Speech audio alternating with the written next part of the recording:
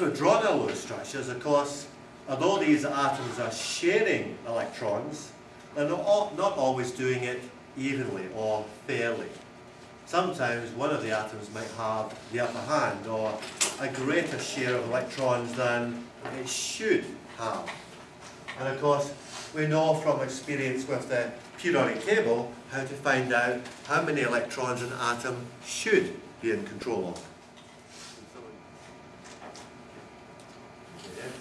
So, we said from our talks about electron configurations in the periodic table, we said that the very shape of the table explains to us where the electrons are for each atom, which particular shell, and how many electrons in each kind of subshell.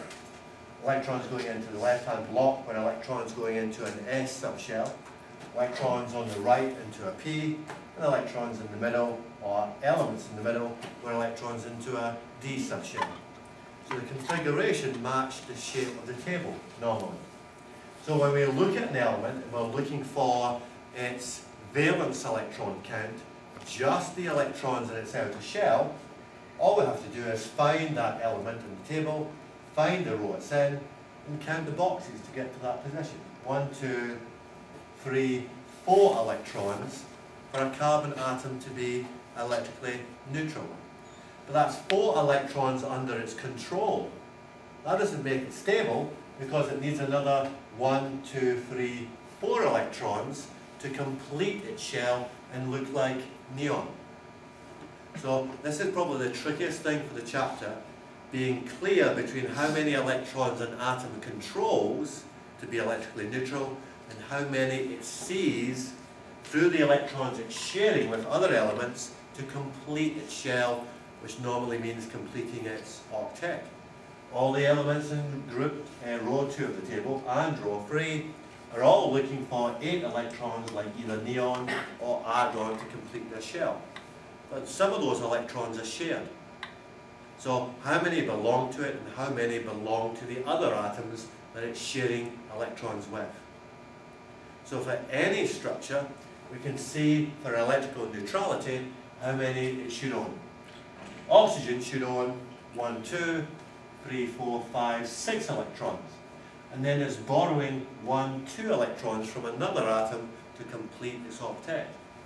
Phosphorus should control 1, 2, 3, 4, 5 electrons and then get a share of another 1, 2, 3 electrons to complete its octet. So to work out any formal charge for an atom within a Lewis structure, we're going to compare what the Lewis, sorry, what the periodic table position tells us about the number of electrons it should own, and also look at the Lewis structure and see how many it does own from its octet. And let's look at those examples. The comparison between the periodic table position of the element, comparing it to the Lewis structure.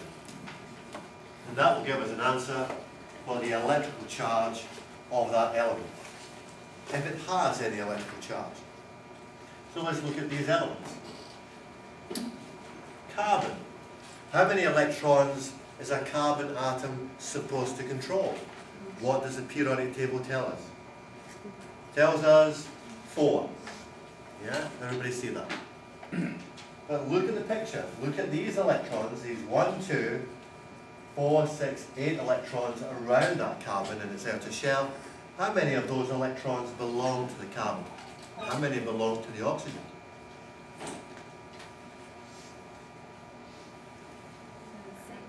Count them. So any lone pairs around the element, these are electrons which belong to it. They're not involved in a chemical bond. Only the electrons in mutual space between the two atoms are bonding electrons. We always show those with a line, each line representing two electrons. So of the eight electrons the carbon can see, one, two specifically belong to it because they're not being used in a chemical bond. And then it has a share of another two, four, six. So if you're sharing something, if we are sharing a cake, Tanner and I, doesn't feel like we're sharing if he doesn't get any of the cake. So these are truly shared. So for each bond, one electron belongs to the carbon, one belongs to the oxygen. So one, two, three, together with the lone pair, five of the eight electrons belong to the carbon. Now how many did we say the carbon was supposed to control? Four. Four.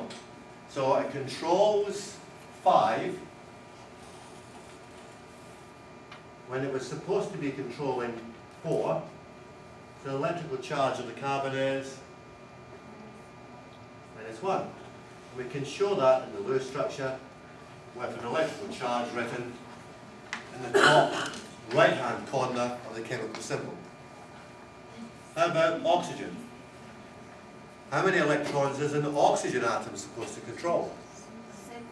Supposed to control six. That's the number of boxes we count as we look along the periodic table row. Look at the structure. How many does it control? Five. Five. Supposed to be six, but it only controls five. So for oxygen, six compared to five, plus one for the oxygen atom. Take a couple of minutes and try and work out the formal charge for these remaining elements, these remaining two molecules. Comparing the periodic table to the Lewis structure, comparing it to the share. What is its fair share as we've drawn these Lewis structures?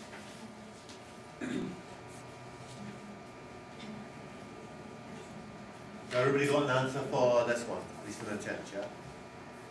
So, again, how many electrons was an oxygen supposed to control? Six. As we look at this particular oxygen atom, how many does it control? Seven. Seven, one more than it should. So its formal charge is Plus Minus one. minus one. Remember, if it's Oh, yeah, got 'cause it more is- electrons than it should, it's got more negatively charged electrons. So six minus seven is minus one. With the same environment, one single bond and three lone pairs, this oxygen atom is minus one as well. This oxygen is Neutral. neutral, should control six, and it does control six of the eight around it. And the sulfur should control Six. six, and it does control Four. four, so its charge is Positive two. positive two for the sulfur. Excuse me.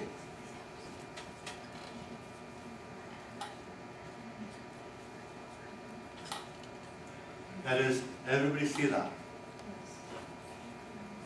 This is your time. I don't need to know this, you do. So now is the time to cry out if you don't see that. Yes? I don't, I don't really think I see it. Do one of those lines equal one So electron? remember, every one of these lines is representing two electrons. Uh-huh, Representing two electrons which are shared. okay, So, are you with us when I say that for the oxygen, it should control six? yes, Okay? So let's see how many it does control. One, two, three, four, five, six. Those electrons have got nothing to do with sulfur. right, They're not involved in the chemical bond to sulfur. But these two electrons in the bond are. okay, And of the two, one of them is designated as belonging to the sulfur, oh, and one is designated as belonging to the oxygen. Okay, So it does have a share, and it's occupying mutual space between the atoms, but we have to decide who owns what. And okay, anything time electrons are shared, we say one to him, one to him. So two, four, six, and one of the two, seven, know, is supposed to control six, so it has more of its share than it normally is happy with. okay. This makes it minus one. How about the atoms here? Let's give it another minute, because people are still chatting about it. okay? Okay, let's take a look. So again, it's the periodic table position compared to the Lewis structure that we've drawn. So how many electrons should a hydrogen control? One. One. How many does it control? One. One, because it's got a share, an equal share of electrons in that bond. So each of those hydrogens is electrically neutral.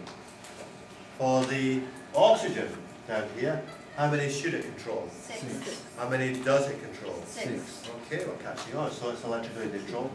For the sulfur, how many should it control? Six. How many does it control? Seven. Seven. So it's minus one for the sulfur. Phosphorus, how many should it control? Five. How many does it control? Four. So its charges Plus one. plus one, it's one short.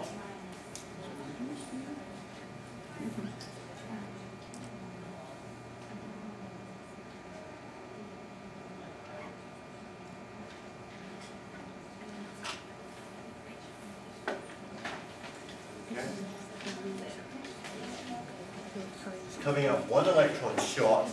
as a proton in its nucleus that doesn't have its charge negated.